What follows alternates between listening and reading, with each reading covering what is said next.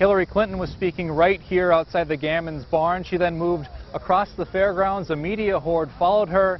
She says she's here to continue her conversation with the American people. How are you? I'm good. How are you? Surrounded by cameras, shotgun microphones, former Senator Harkin, Hillary! and plenty of onlookers, Come and get a corn dog! presidential candidate Hillary Clinton I love your blue outfit. took the Iowa State Fair by mob.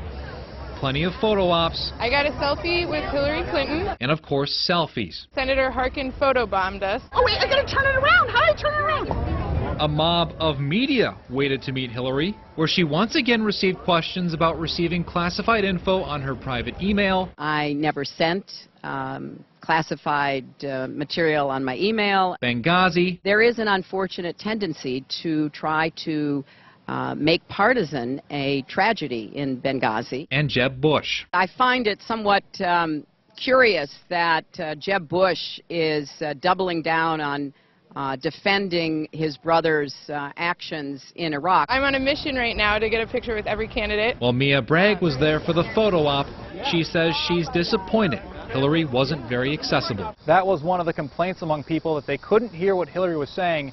In fact, much of the media had that same problem. Reporting in Des Moines, Jason Rantala, KCCI 8 News, Iowa's News Leader.